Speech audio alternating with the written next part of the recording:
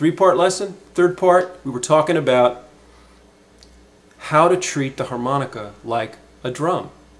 The harmonica, I said, can, you know, sometimes the harmonica is just a harmonica. We all know that. Harmonica sounding like a harp. On The Piano Man by Billy Joel, right?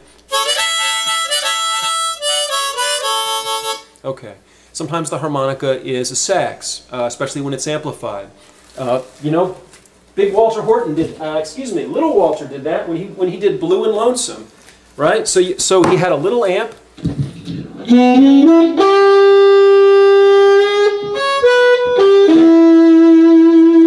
you want a big, like a, like a tenor sax.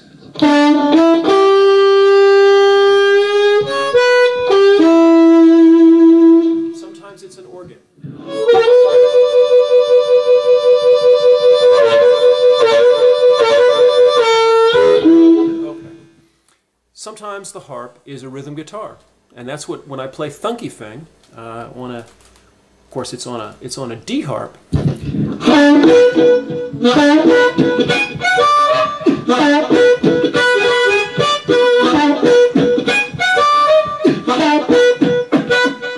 Well, sometimes the harp can be like a drum, and that's I, I was saying that there's a, this song. Uh, so let's go. Let's go back. Let's play a little bit more of this song.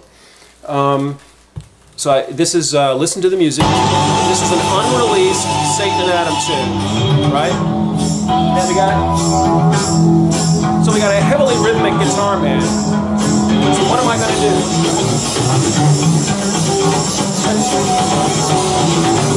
What? Do,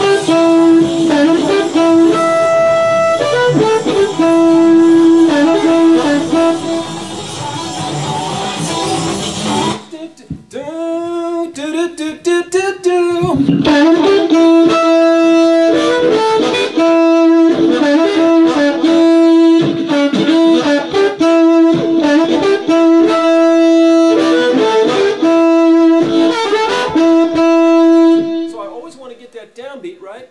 Boom, and I'm you, you can't say. Well, if I do this, you might.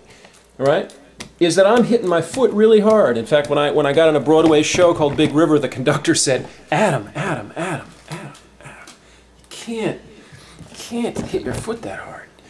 You know, everybody can hear. The mics are all on the floor of the pit in the in the Broadway show, right? You know, and everybody can hear you out in the audience. So it's discipline the foot. Okay, well, you know, call me Huckleberry Finn. I just couldn't be civilized. That was always my problem as far as uh, playing the harmonica. I liked the over-the-top stuff, but if you're going to play it, you got to play it right. And being at the Society for the Preservation and Advancement of Harmonica, seeing all these great players, asking myself, what was my particular gift? Because everybody else was, I mean, their gifts were, you know, splendiferous. Their gifts were just obvious. Um, I, I, what I came back to basically is what do I get pleasure from doing? And I think that's finally that your, your harmonica playing, whoever you are watching this video, it's finally got to start with what do you enjoy doing? You can't play somebody else's stuff. They're always going to play their stuff better than you. You can be inspired by their stuff, but maybe you can be inspired to perfect, to sort of expand the stuff you do, the stuff that you like doing. The stuff you like playing is the stuff you're going to work on. It's the stuff you're going to practice, the stuff you're going to obsess with. All right? Very important, very important. So the stuff I liked, it's not actually, well, one of the kinds of things I like, it, it, it, the complication in it comes from not from the many different notes I'm using, but the, just the sort of the recombinations that I work of them. Um, and it's hard for me to do this sitting down. But so if this is the groove, it's one, two, three, four, da da da da da da da. da.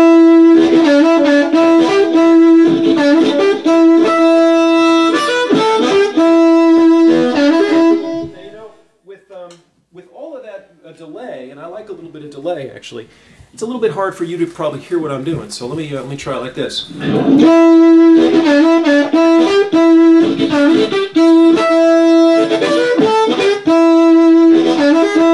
Let me break that line down real slow. Okay, let me take the take the mic away. So I'm starting on the two draw. And I'm doing a full step bend. But the timing, I'm, I'm doing a little out breath.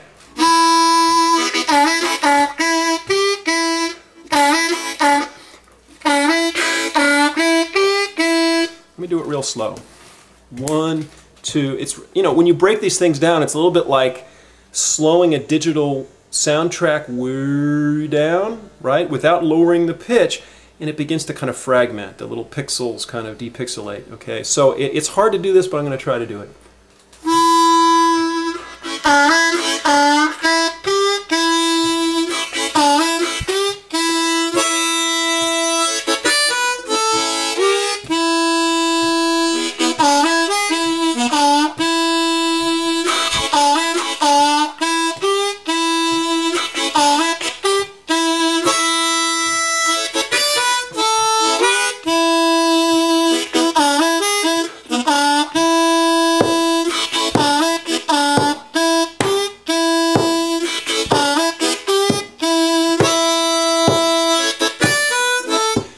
it's like it's sort of the Heisenberg uncertainty principle. The the closer you get, the more you slow it down, the more well, for one thing, the more I, I slow it down, the more I have to begin to add other little elements in order to make it all flow.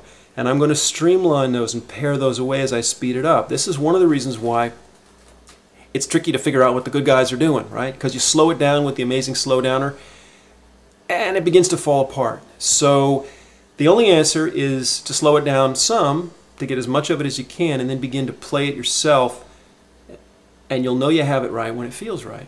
Whatever feels right, whatever really feels right and sounds right to your ears is right. That's a key thing. Um,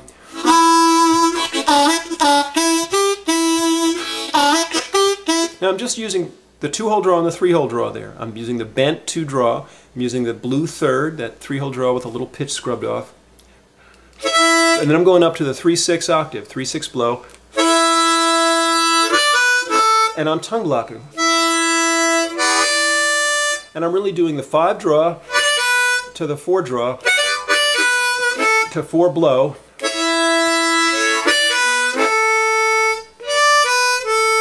To the blue third. And that last little lick I think you can hear. Two draw, two draw, uh, bent two draw, release two draw, three draw, not really any bend on it, and back to two.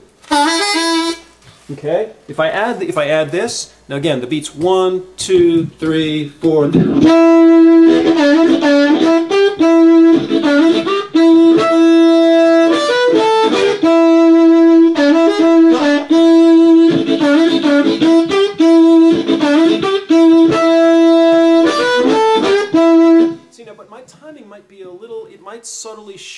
Time I do it.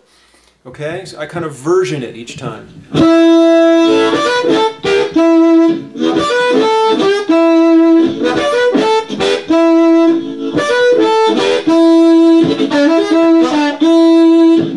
Okay, and then on the solo, what am I doing on the solo? I, you know, I don't. I have no idea. I mean, I just, I'm just playing. But the drum thing, right? Well, this all started with the drum thing.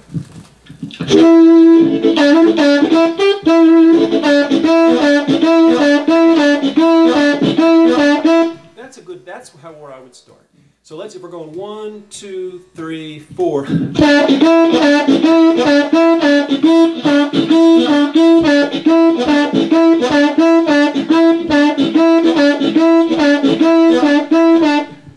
All I'm doing is doing two draw bent, release it.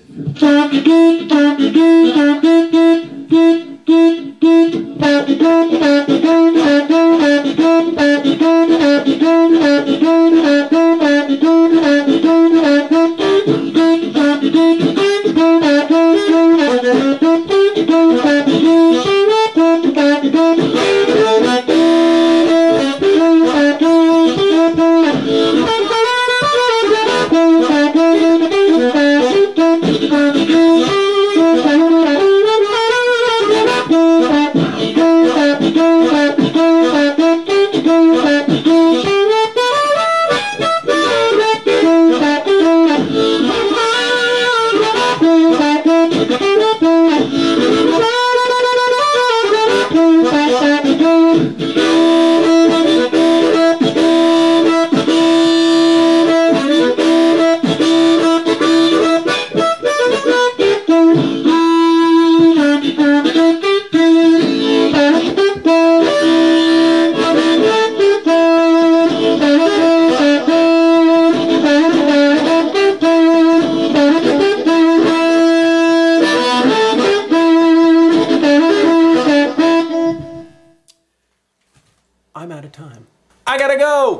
There's one final thing that I learned at SPAH, which is why I want to encourage you to come to St. Louis, middle of August next year.